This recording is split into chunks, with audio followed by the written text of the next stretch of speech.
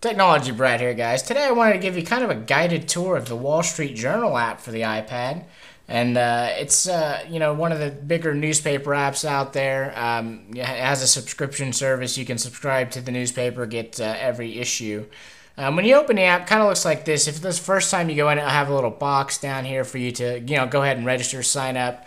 You can sign up just for a free account, and that'll give you access to several different things. Um, first of all, you can see it uh, does go back issues for seven days. Um, one thing to notice, see all these little keys right here. Um, what that's telling you is you're not an actual subscriber to the Wall Street Journal. You're, you're logged in under a free account, so you're not going to be able to access those. However, you can access today's newspaper and you can access, you know, the now edition of the Wall Street Journal.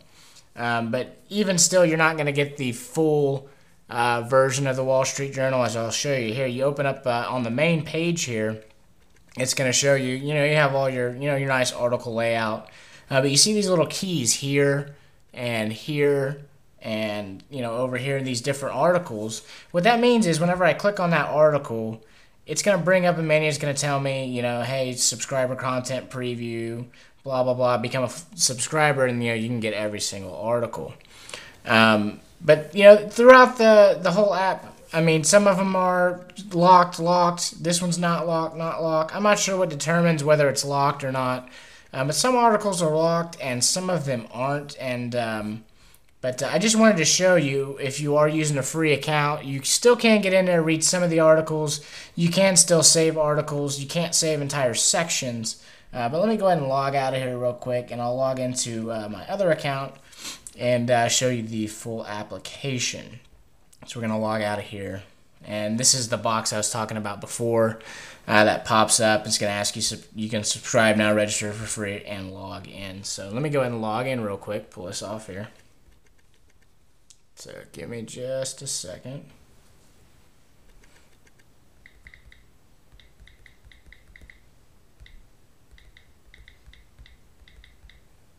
I'll type in my username and password.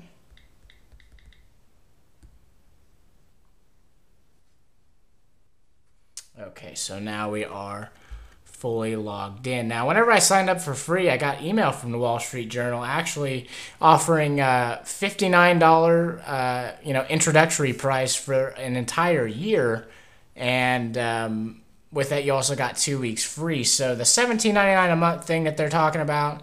Um, you know, just go ahead and register for free. Wait for an email. See what kind of offers they send your way. Fifty-nine dollars a year is not bad for a newspaper subscription. My local newspaper uh, is well over hundred dollars for a yearly fee. So, uh, for this app, I really liked it. I enjoy perusing it kind of every day. So, fifty-nine dollars is uh, not too bad of a deal.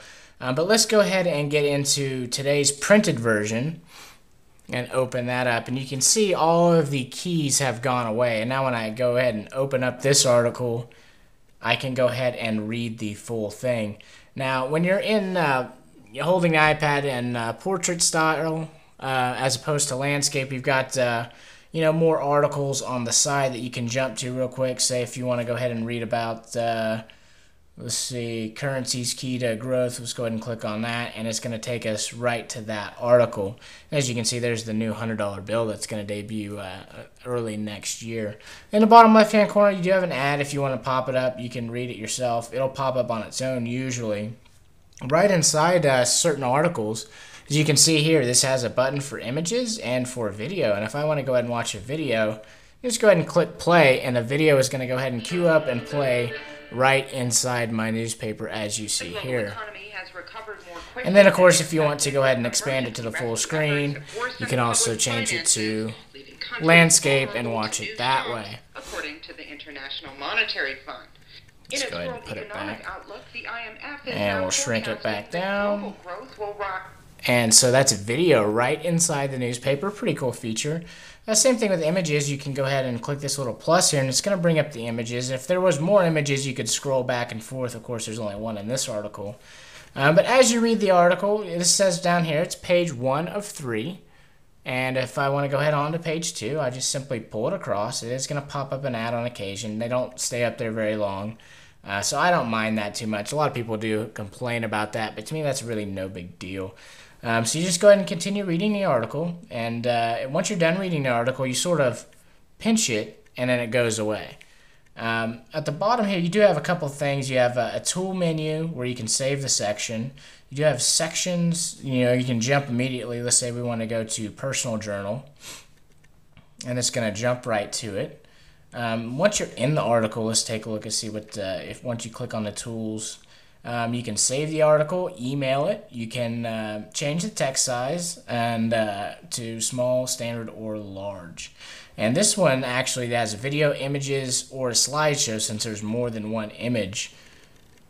And uh, looks like I accidentally clicked video, but you click on the images, click the plus, and you can, I guess you can't slide back and forth. I guess you can do the slideshow. But um, so that's basically it in the uh, tool menu. There's not much there. You can save the article or email the article, and then of course you can um, save entire sections. Um, so let's jump back to the front page here.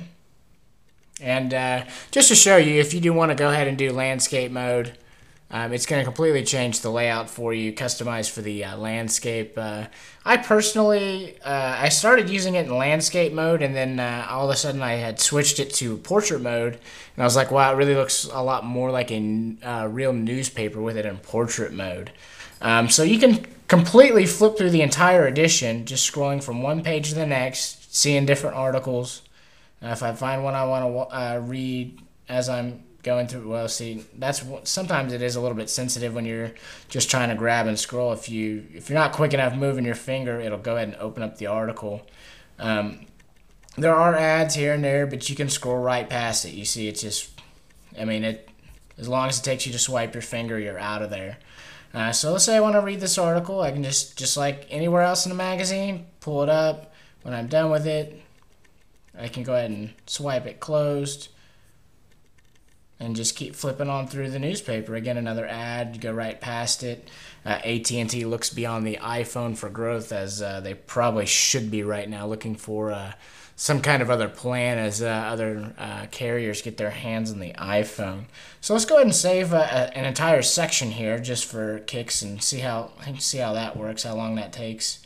And I just clicked it, and it should be done. I go down into Save Sections. Bam, there it is.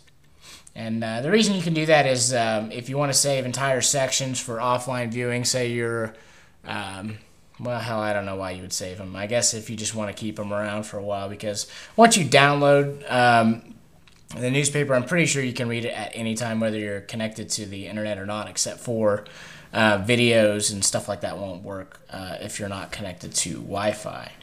Um, let's see. You can click down here next. It'll go to the next page for you if you don't want to swipe. I don't see why you wouldn't want to swipe.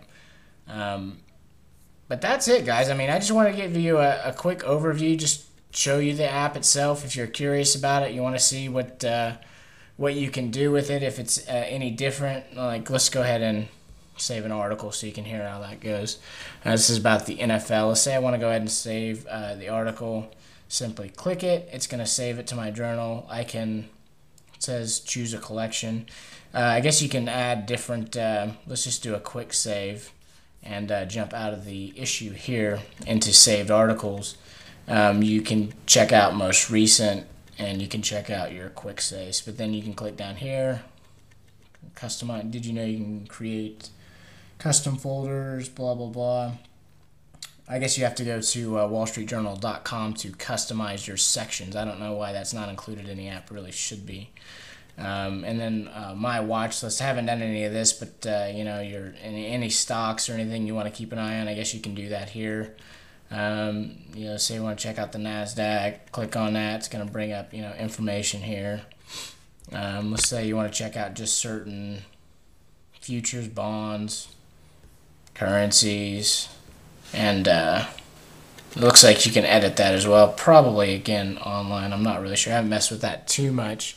Uh, but anyways, guys, I just wanted to show you. You can also go. They do have a Now edition that uh, updates pretty much every half hour and uh, gives you all the most up-to-date stories, uh, just like you would find on the WallStreetJournal.com. Uh, but that's it, guys, for this video. Uh, I hope you liked it. if you did, give it the, the old thumbs up. Um, I try to be uh, try to show you as much as possible on it.